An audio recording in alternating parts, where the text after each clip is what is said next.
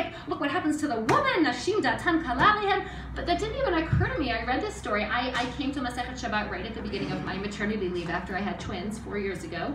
And, um, and for me, that was very much a story of, you know, um, well, really intimate bonding with a child, right? Because I was, it was a time in my life when I was holed up at home. I wore the same clothes day after day. It was basically buried up to my neck in sand, right? Caught up in an endless cycle of breastfeeding one girl, breastfeeding the other, changing one diaper, changing the other, then feeding one girl, then feeding the other, really like no breaks.